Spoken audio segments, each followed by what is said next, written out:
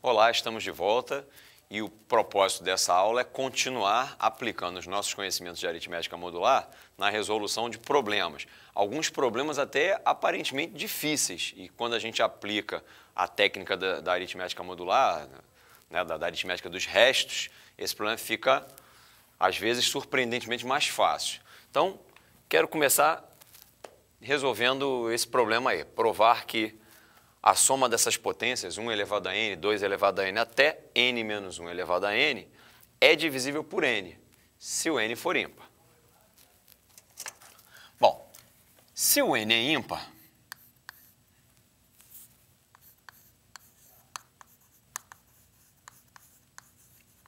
então n menos 1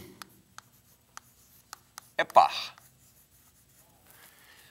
Note que eu começo pelo 1, 2, 3 e vou até o n menos 1. Isso quer dizer que a minha soma tem uma quantidade par de parcelas. Se a minha soma tem uma quantidade par de parcelas, eu vou agrupar essas parcelas em pares. Só que eu vou fazer isso de fora para dentro, da seguinte forma. Eu vou somar 1 elevado a n com n menos 1 elevado a n. Eu vou chamar isso aqui de primeiro par. Depois, eu vou somar 2 elevado a n com quem vem antes desse aqui, que é o n menos 2 elevado a n. E esse aqui será o segundo par. Então, perceba que eu estou pegando formando os pares com parcelas que eu vou tomando de fora para dentro com relação à minha soma aqui. E aí eu vou fazendo isso e não vai sobrar ninguém, porque eu tenho uma quantidade par de parcelas. Eu vou representar aqui o último desses pares. Como eu não sei exatamente quem é esse cara aqui, eu vou botar um, um representante aqui. Eu vou representar esse número pela letra K. Então vai ficar K elevado a n. E, mantendo o padrão aqui, quem vai fazer o par com ele é n menos k, elevado a n. Perceba que 2, n menos 2, 1, n menos 1, k, n menos k.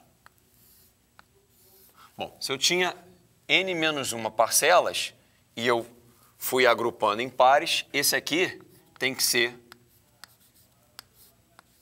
o par cuja ordem é n menos 1 sobre 2.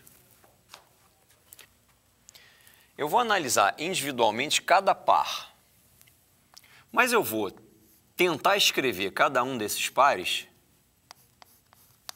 em módulo n. Por que, que eu escolhi o módulo n para fazer isso? Porque eu estou querendo verificar a divisibilidade por n. Então, quando eu pego o primeiro par, 1 elevado a n, mais n menos 1, elevado a n. Isso escrito módulo n ficará 1 elevado a n, e n menos 1 pode ser trocado por menos 1, que continua elevado a n. Bom, nesse momento, a gente entende por que, que o n precisa ser ímpar. Porque se o n for par, esse resultado aqui fica congruente a 2. Mas se ele for ímpar, isso aqui fica congruente a menos 1, que somado a 1 ficará congruente a zero. Então, se o n é ímpar, o que garante esse zero é a imparidade do n. Se o n é ímpar, essa parcela é divisível por n. Vamos para a segunda parcela agora. Vou pegar 2 elevado a n mais n menos 2 elevado a n. De novo, escrevendo isso módulo n, a gente fica com 2 elevado a n. E aí, o n menos 2 pode ser trocado por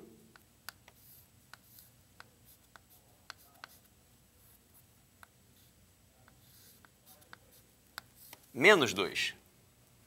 Só que aqui ele continua elevado a n.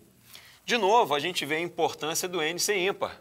Porque se o n fosse par, eu teria aqui 2 elevado a n mais 2 elevado a n. E aí eu não ia concluir aquilo que eu desejo. Mas como o n é ímpar, isso aqui vai ficar 2 elevado a n menos 2 elevado a n, o que é congruente a zero, o que garante que o segundo par é divisível por n. Isso vai acontecendo em todos os pares. Eu vou pegar agora o último par.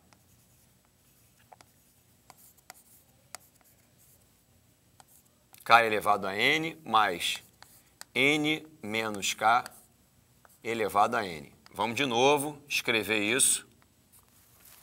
Módulo n. Aqui eu fico com k elevado a n. E se eu subtrair n aqui do n menos k, eu consigo trocar o n menos k por menos k, que continua elevado a n. Mais uma vez, o fato do n ser ímpar garante que isso aqui vai dar k elevado a n menos k elevado a n.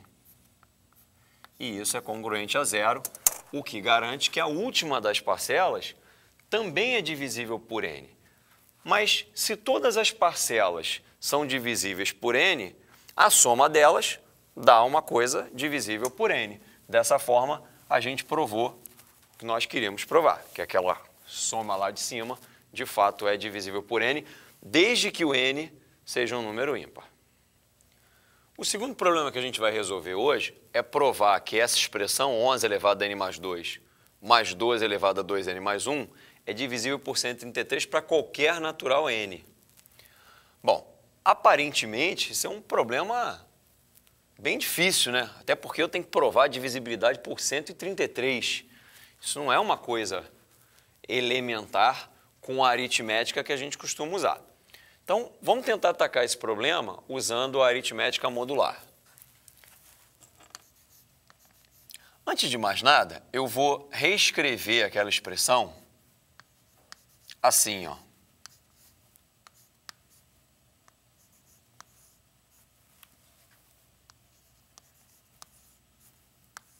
O que eu fiz foi separar aqui o 12. Lembra que você, quando multiplica a potência de uma mesma base, você mantém a base e soma os expoentes. Então, daí, daí é que sai o 2n mais 1. Da mesma forma, por isso lá está escrito n mais 2.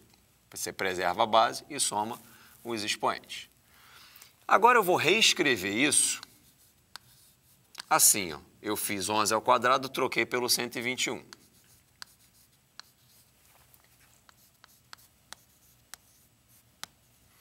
E essa potência aqui, eu vou escrever dessa forma.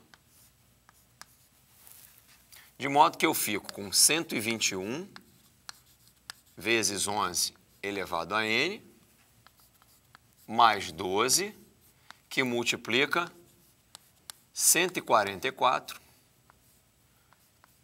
elevado a n. E aí, eu, na verdade, dei uma arrumada na minha expressão para ela ficar conveniente. Você já vai ver por que é que essa, essa maneira de escrever está conveniente, está melhor do que a anterior para o que a gente quer fazer.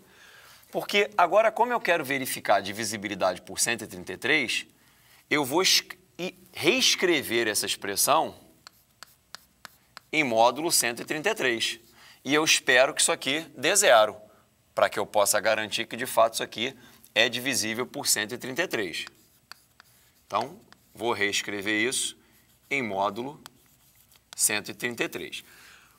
Quase todos os números que aparecem aqui são menores do que 133. Então, eu não vou trocá-los, eles ficarão como estão. Só o 144 ultrapassa o 133. Então, esse eu vou trocar pelo seu equivalente. Então, ficaremos com 121 vezes 11 elevado a n, mais 12. E aí, 144 é congruente a 11 módulo 133. Dessa forma, eu consegui fazer com que 11 elevado a n aparecesse nas duas parcelas.